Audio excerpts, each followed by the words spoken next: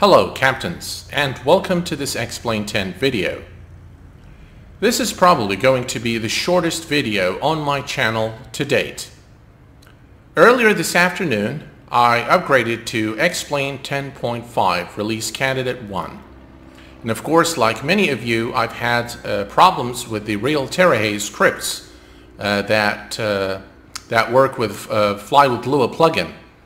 So I found a fix and as you can see, um, I am running Real Terra Haze version 4. These are my sets here. And what I'm going to do is I'm going to show you how to fix uh, the Real Terra Haze so that it works with X-Plane 10.5. Yet even better than that, I'm going to zip the entire um, folder, a Lua, Fly with Lua uh, folder, uh, which is on my PC uh, with my scripts uh, and I'm going to make it available for, for, download via Dropbox.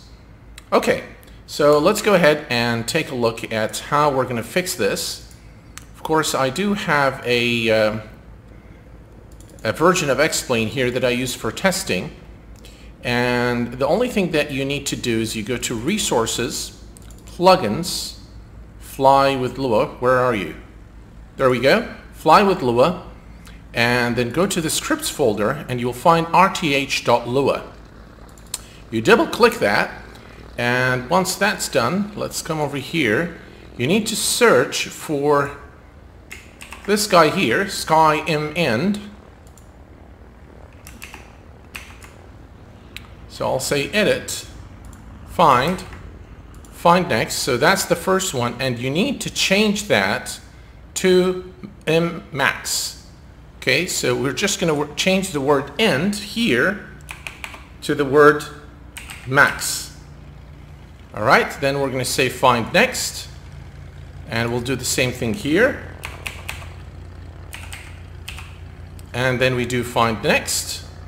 And that's the last one. There are three instances where this is referenced and needs to be changed from end to max.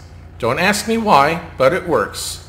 And then you save the file and voila, you are good to go. There you go. I can switch between my presets here and everything's working fine.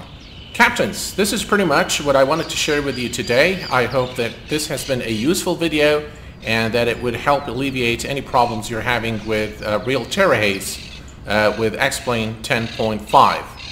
Uh, it's looking great. Uh, of course, there will be another video where we take a look at uh, X-Plane 10.5. I will probably postpone the settings video that I promised you guys, uh, that I promised you that I would do uh, until the final release of um, X-Plane 10.5.